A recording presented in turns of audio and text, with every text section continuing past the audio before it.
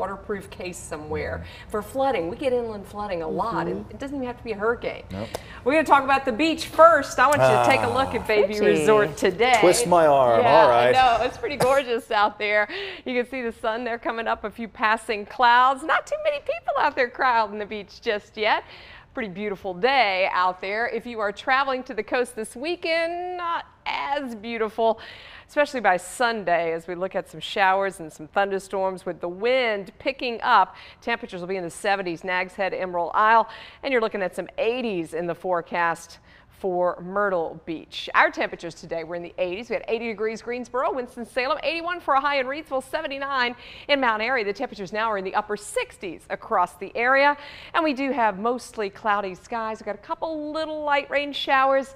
More wet weather is going to start to fill in from the southwest, and that'll be the rain for the overnight and very early tomorrow morning. Not really anticipating much in the way of storms tonight, but more just some occasional moderate to maybe heavy downpours. So this shows you the time frame 1, 2, 3, 4 a.m. there, kind of pushing into the mountains and foothills. We'll stop it again at about 8:30 or so tomorrow morning. You still have spotty showers. Not everybody's going to see it, but you may have to deal with it in the morning. Talked about the graduation forecast, Winston-Salem State University tomorrow with a shower chance at 8 a.m. And then I think we're going to dry out a little bit as we approach the lunch hours. So if you look at this, this is about 9 o'clock tomorrow morning, kind of hit and miss.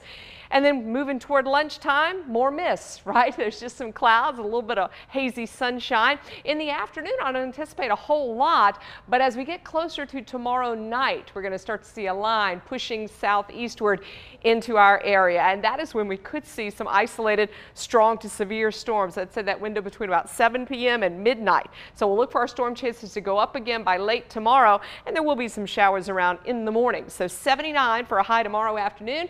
You've got 77 for temperatures in the foothills, also increasing storm and rain chances toward the evening. Mountains 75 tomorrow afternoon. The area that may see an isolated strong to severe storm is that area shaded there in the darker green. So mountain and foothill communities. And right now we're looking at the main risk being damaging wind and there's a potential too for heavy rain not only tomorrow night with the storms, but even as we move into Saturday and Sunday, I'm concerned about flash flooding because we could get some excessive rainfall, anywhere between one to as much as three inches of rain.